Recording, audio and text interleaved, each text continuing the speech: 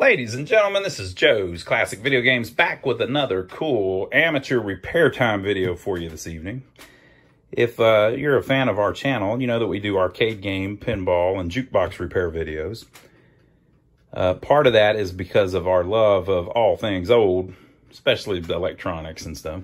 So we love old coin-operated equipment, but on the weekends, I've been doing these little videos where I work on some of the other stuff that I collect and find interesting. So radios, clocks, things like that. So the title of this video, Should I Just Throw This Thing Away?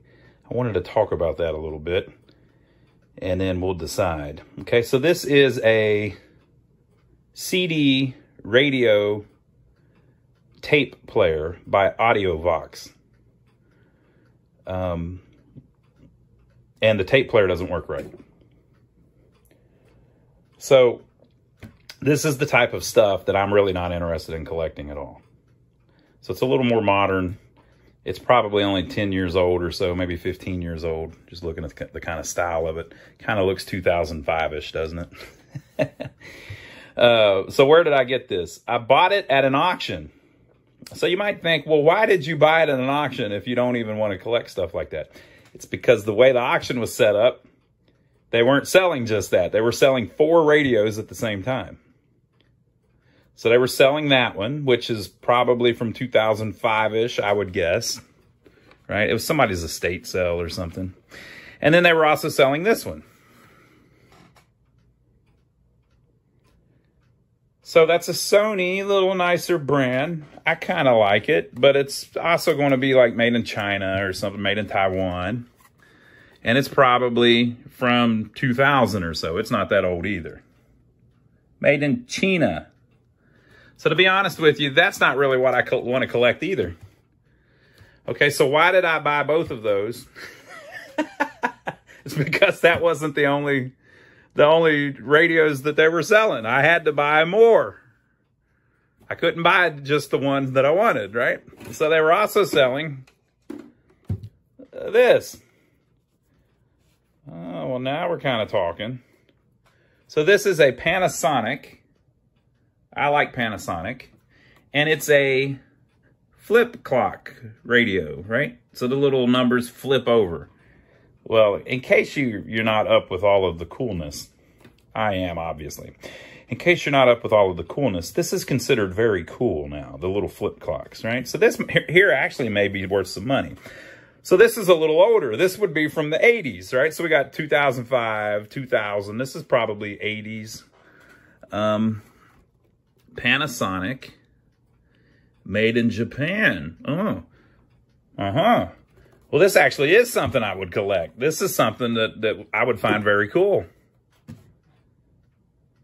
But to be honest, that's not even why I bid on it. You know which the one that I really wanted? I wanted this one. There were four altogether, and this is the one I wanted. It's just a little General Electric solid state radio. It has a Winston Cup NASCAR sticker on the side. Okay. This one's probably from the 70s, maybe even the late 60s, but probably 70s. So all four of them came together, and it was out of an estate. So you can almost see where they bought new radios as time went on, right? By the way, the the uh, the tape player has a tape in it. We'll look at that here in a minute. Okay, so should I just throw that thing away? To me, that has no value.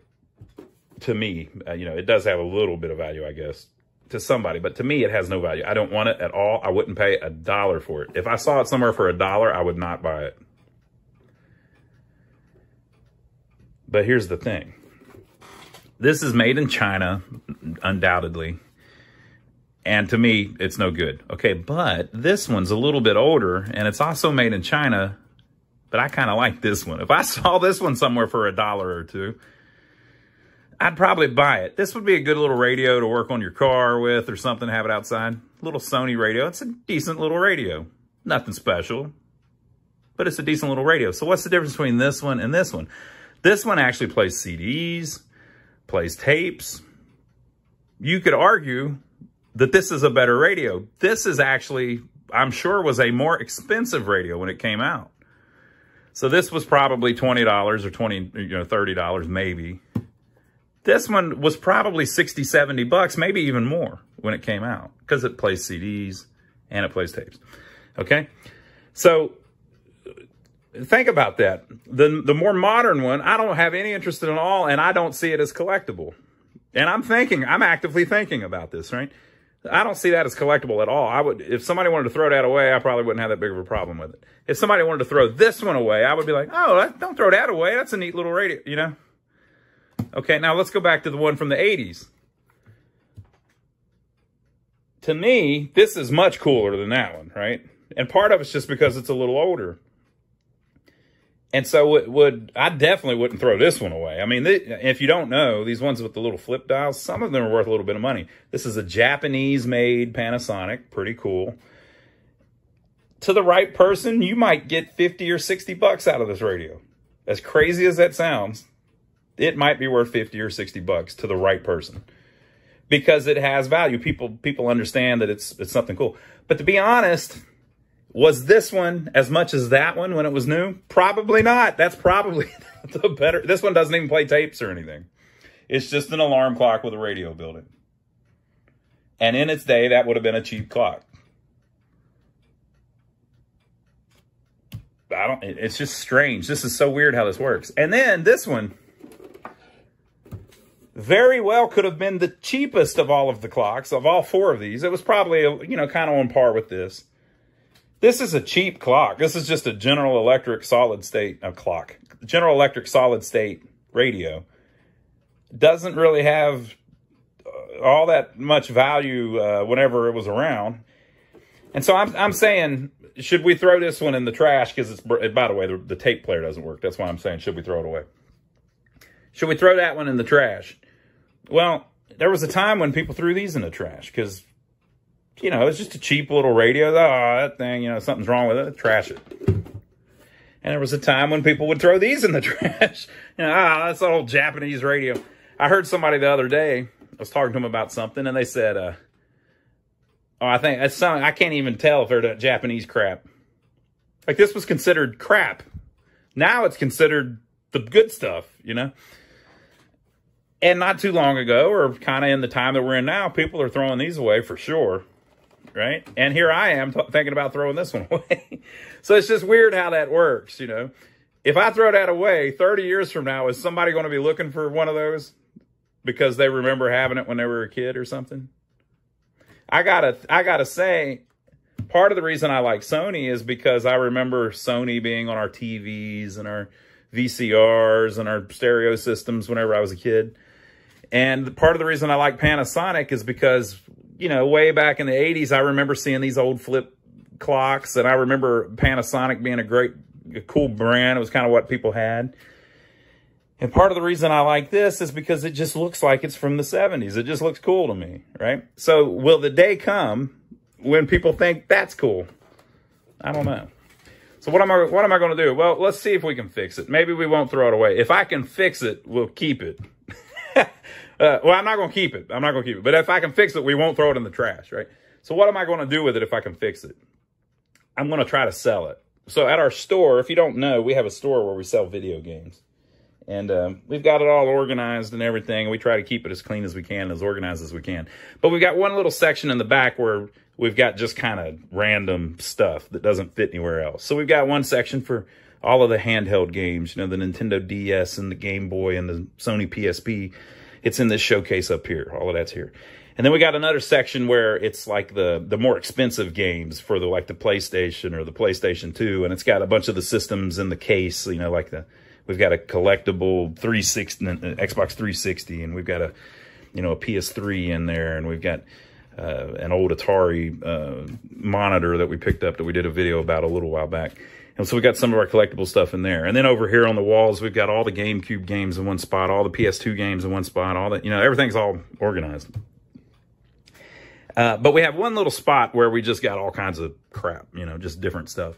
And we've got a lot of computer games there that I don't, I don't really know too much about computer games. Um, so, you know, I could set this over there and, uh, and sell it.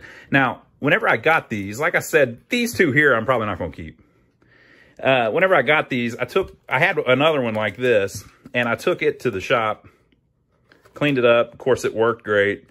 Uh, and I put it on the shelf over there in that little area that we're talking about. I put $10 on it. Somebody bought it for 10 bucks.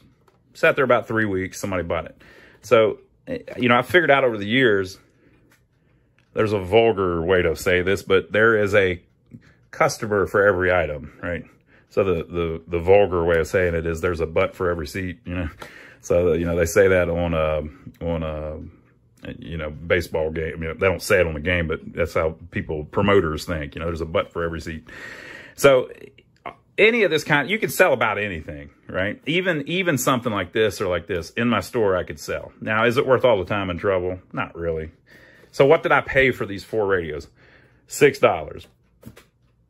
It was an auction. They, I bid $6. I won it for $6.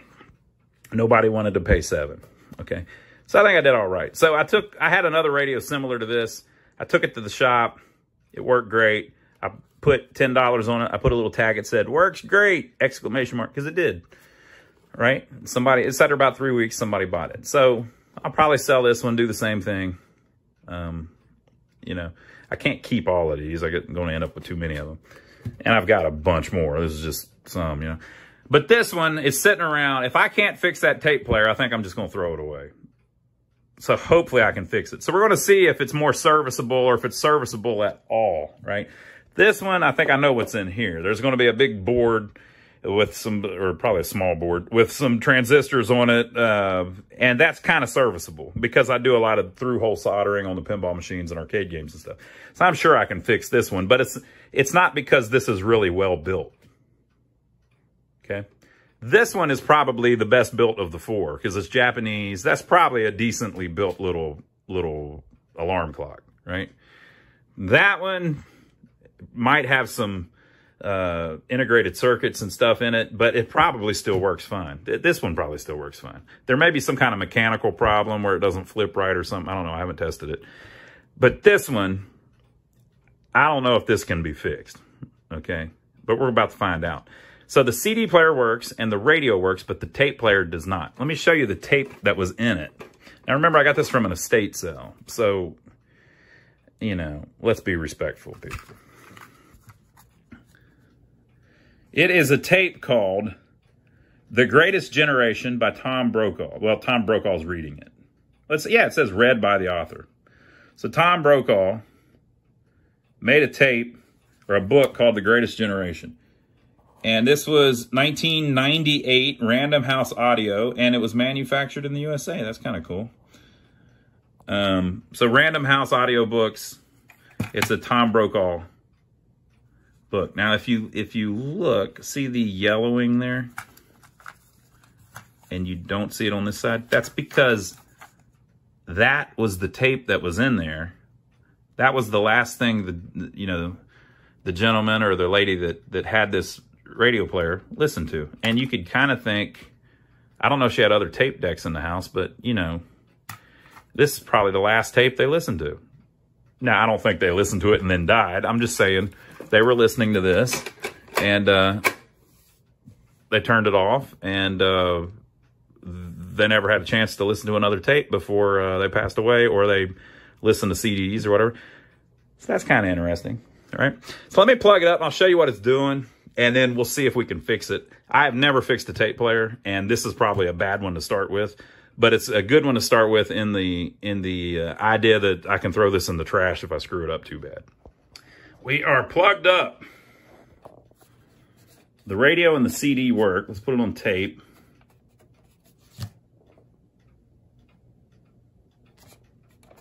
We're on. As America's attitude was toward blacks, Germany's ultimate solution was beyond belief. Okay, I don't know if I really want to hear all that, but uh, that was almost creepy. Um, so whenever I got this, I tested it out by putting a tape in it and just letting it. I thought, well, maybe if I just let it play for like 10 minutes, it'll speed up. No dice. I played it for a while. So then I thought, well, maybe the tape screwed up. So you know what I did? I went and got a good tape. Now, if you don't know, Randy Travis is the man.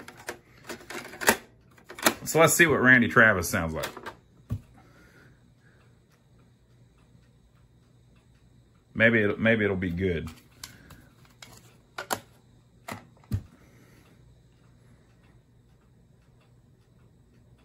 Maybe it's over.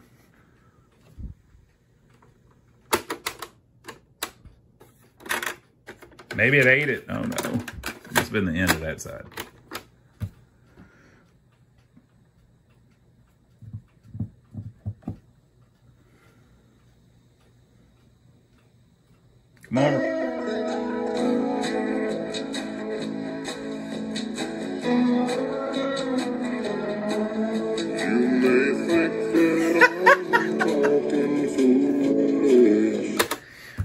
So obviously it's not uh, playing at the right speed. Okay, um, the the CD player works fine and the the radio works fine. So here's what I'm gonna do. I'm gonna take the back off and just see if it's even serviceable. I hope it is.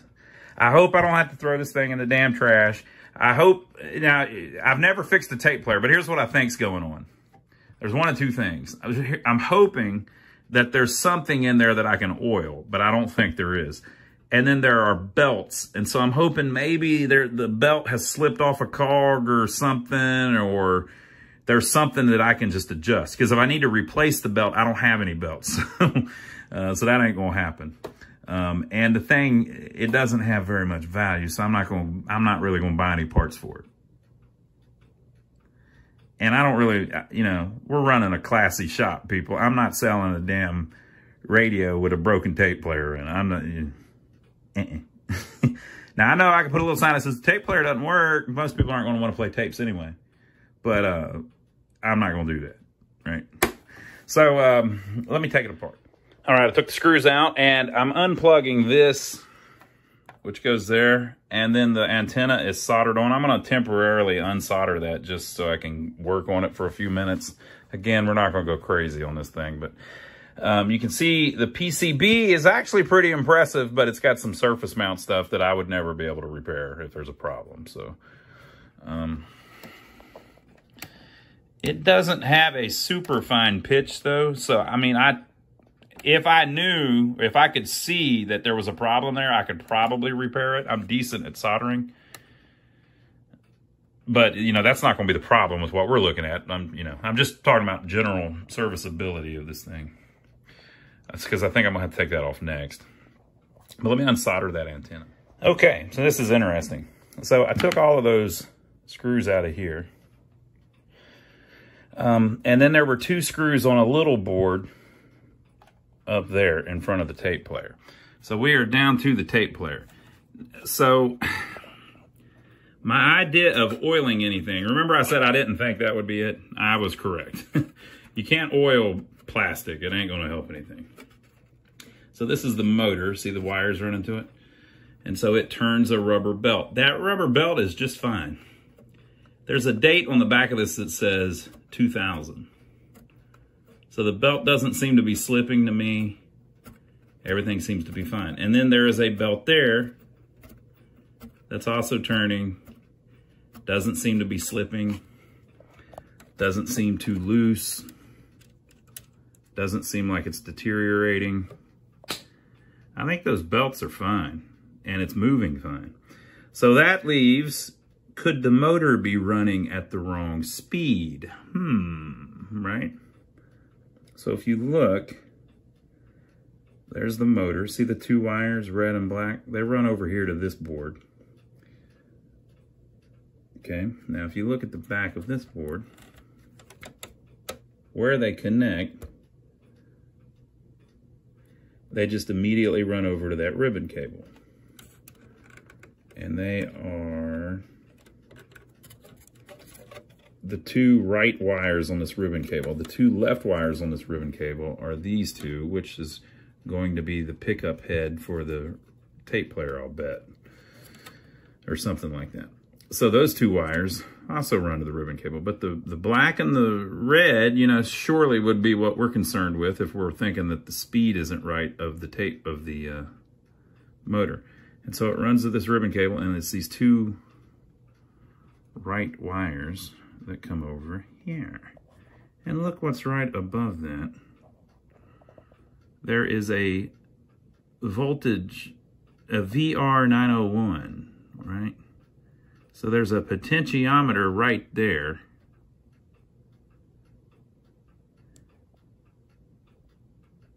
So that's going to change the voltage going to the motor. I wonder if that's dirty, it looks dirty, and the voltage has lowered, or these caps or something has caused the voltage to lower, and that's why it's running slower, and it's why it sounds bad. That would be my guess. So this wire here is the one that I unplugged. It goes over to the AC and the batteries. So see the ribbon cable right there? See those two? That's those two pins there. And if we follow those around, one of them goes to here, which uh, jumps up into this mess. And one of them wraps around to here, which jumps over into this mess. And that voltage regulator is right there. And it's adjustable from the back. So here's what I'm gonna do. I'm gonna put this sucker back together and then I'm going to attempt to measure the voltage uh, while it's playing, while it's turned on. And then I'm gonna play a tape and see if the voltage changes. And we'll see if the voltage seems anything like however many batteries we're supposed to have in it. Nine, I don't know. One, two, three, four. So six volts. So let's see if the motor will run on six volts. I mean, it should be. It'll work with batteries that are only six volts. So four batteries. So uh, if we check that and it's like four volts or something, that might be our whole problem. And we can also turn it while it's playing a tape and see if it changes it. So that's my plan. We're trying to save this beautiful piece of Chinesium that I'm going to try to make $10 off of. was recalling his All right, look at this crap. Medal of Honor recipient. The former president said it was a young man from the West Coast who had promised his mother that he was going into the service to help people, not to kill them. Mick knew Truman was talking about his dad, but Bob did nothing to draw attention to 1.72 volts. Come on now. Not There ain't no way in hell that thing's designed to work on 1.72 volts. We're going to hit it. I'm gonna hit it. I'm gonna do it. Here we go. the Medal of Honor winners. We're going to make it happen. He noticed something else about those common men who acted with Let's see if we can speed 'em up. For them, he says, responsibility was their juice. They loved responsibility. It may kick in because it may just be that pot's dirty.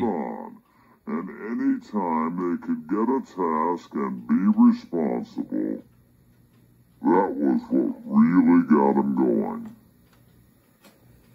Nonetheless, Rick struggled for a time as a teenager when he Hmm. realized what he'd have to live up to with Bob as a father. It, it doesn't have it. They can't do it. They clashed over lifestyle and values for a while, but he always tried to understand what his father had been through in the Depression and the war. That's all I got. it, I try to assimilate his values. That's the problem, though, right? I also try to show him the difference. Bob has another way of describing it. Not quite there. Look, he says, Let's see what that got it to. I'm a Volkswagen. Now that the children are in their 40s, Oh, please don't bite me, Mr. Electricity. And Wanda are in their 70s. They have a new Bush generation as common ground. Bob managed 1.83. I don't know what that motor's supposed to run on, but there ain't. The success of a granddaughter Two volts, come on. from Pepperdine College. Let's see what the voltage is coming in. High-paying job with a Fortune 500 company. Or another granddaughter, a star 12. basketball player, who's also going to Pepperdine Huh. on a scholarship from the Medal of Honor Society, an Hmm. organization made up of all living recipients of the coveted decoration. I got to figure out what that voltage is supposed to be. School teacher. All right, folks, so here is that little circuit. So I looked up what voltage does a cassette tape recorder, a cassette tape motor run on. And there's all kinds of different ones, but guess what? There's some called micro motors or something like that. minis or mini motors or something that want three volts. And this thing is putting out 1.6 volts. I'll bet that's what it's trying to do. Okay. So it appears that when the voltage comes in here, 12 volts, it runs to this cap and then runs off. Okay. Now it looks like a voltage regulator down there to me. That's probably what runs the CD player and the uh, radio, which I can see over on this other side. I can see the AM antenna and everything.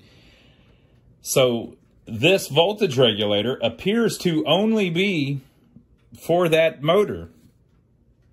So that's probably exactly what the deal is. It, uh, I think, although I haven't confirmed it yet, let's see here. It kind of even looks like you may be able to adjust that voltage from the outside of the of the cabinet of the case by turning that knob. Okay, so uh, there is a little chip here that says UTC 6650. So I'm going to look at chip up and see what the voltage in and out is supposed to be. I'll bet that chip is something that creates the, that is what is actually changing the voltage or whatever. They probably have something set up where as the battery voltage lowers, this keeps the voltage at the same speed according to that pot so that it runs the correct tape volt, I mean the correct tape speed. That's my guess.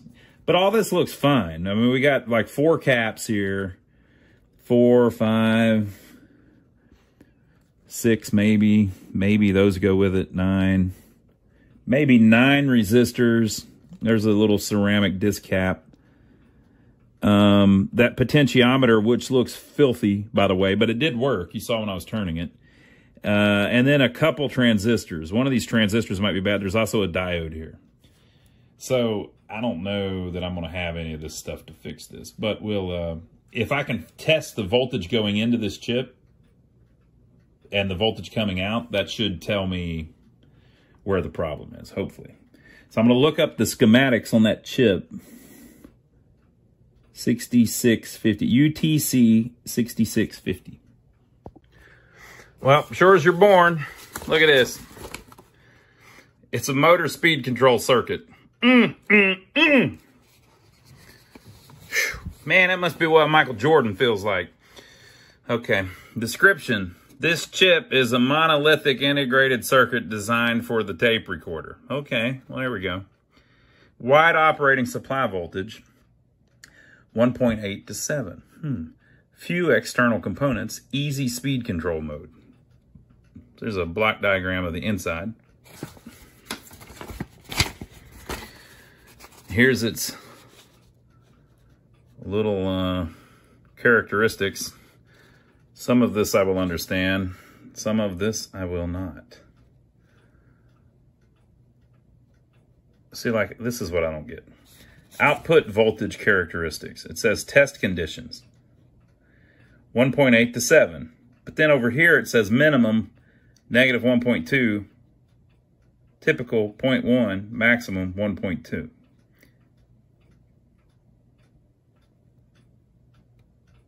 So I don't, I don't get that. It says right here 1.8 to 7, but here it says negative 1.2 to 1.2. I don't know. Something doesn't make sense to me. We'll figure it out. Maybe. Look, folks, I'm not going to spend a ton of time on this thing. We've already spent too long. I'm losing money. I'm working hard for this $10. I can't, I'm probably not going to be able to fix it anyway because I don't have any of these parts. I've got some caps. Uh, now, this says application circuit. I wonder how close to this application they actually did it. I mean, if it's dead on this, yeah, we ought to be able to figure it out. Okay, so uh, I'm going to try to measure the input voltage.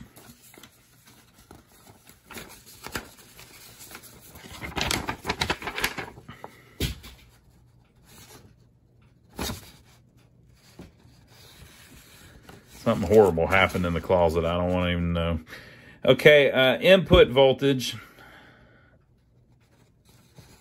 VCC, that would be input voltage. So it looks like ground is 5 and 6, and the input voltage would be 3. Now let's see if that's what they show on this. Yeah. See, VCC, 3. Where is our potentiometer? There it is. Look, it's between pin 1 and pin 4. Okay, so let's see how close that is to this little diagram. If they did it exactly like that, I might be able to fix it. All right. I have measured it, did some stuff, and everything seems about right except for this one. See how this says 510 ohm? When I measure it, I'm getting 900 ohm.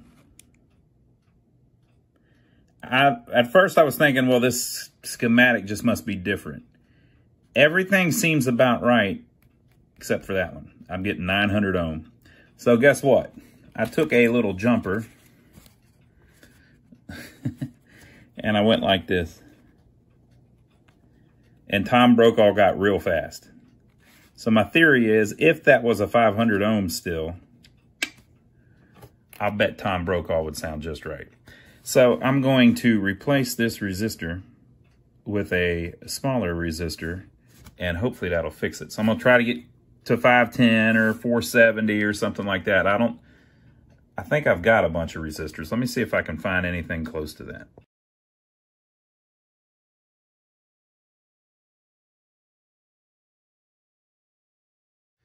So I've got some parts boards. Now, I don't want to take parts off of these permanently, but I don't have any loose uh, resistors.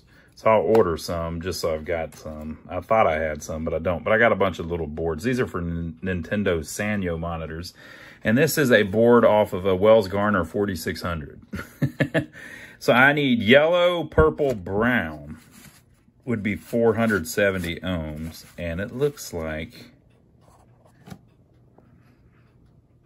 yellow, purple, brown. So I gotta be honest, I can't even tell what color that is. I think it's yellow, black. I mean, it's white, black, red. So that was never, well, it's supposed to be a 510 according to this, but we don't, we have no clue, right? That's the one that was in there. So let me look up that, let me look up white, black, red and measure it and see if it's anywhere near that. Well, I've got that all completely backwards. Okay. So yes, this one is different. But if I short across this one, it actually slows down. This one is correct, 9.1K. If I short this out to where it's gone, it gets really fast.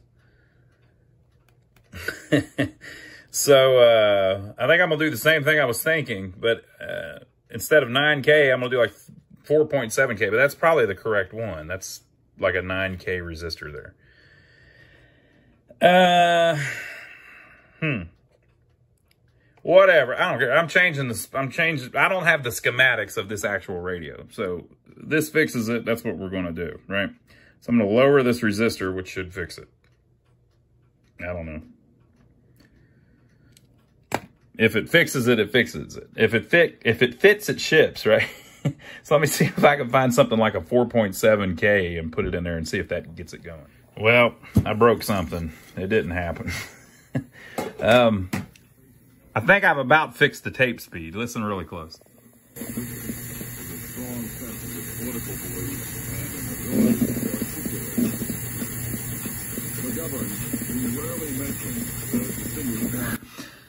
Uh, because I, you know, I, I, I tacked a 8K resistor on, and that slowed the tape, that sped the tape speed up a little bit. Sounds pretty good, but all my amplification's gone. And if you look on the front, the display isn't working. So like the whole thing is dead. If I turn it on radio or on CD, nothing happens. It just turns off the, um, well, it doesn't turn off the tape player, but I think it's designed that way. So basically whatever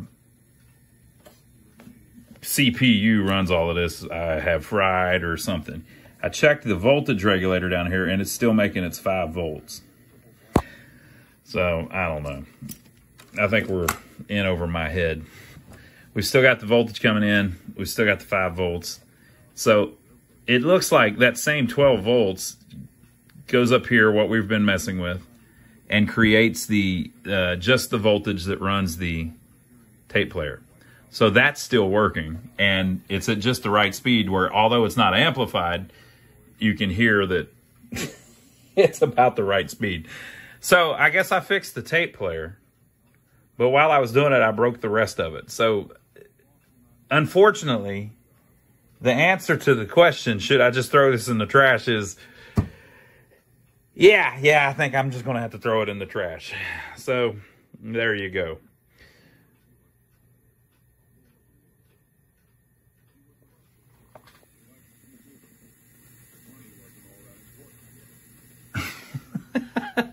Uh, so there you go. So I don't know what I did. I probably got one of these screws touching something and shorted something out. But if it's one of these surface, I would never be able to identify it. But if it's one of these surface chips, I wouldn't be able to replace them anyway. And um, yeah, so that's that. So uh, I'll know in the future if it's a Chinese one that's acting up. Don't even try to fix it. You're not going to be able to pull it off. so I hope you enjoyed the video anyway. Uh, I'll make sure to put the title. I'll put fail in the title so everybody knows that I don't fix it because I don't want people to be disappointed when they get to the end and it, it doesn't happen like it ought to. But you know, that's kind of how it goes when you work on things. You fix some and you can't fix some. So I'll save the guy's tape. I don't really want to even listen to the tape. Um, you know what I'll do? I'll save the guy's other three radios.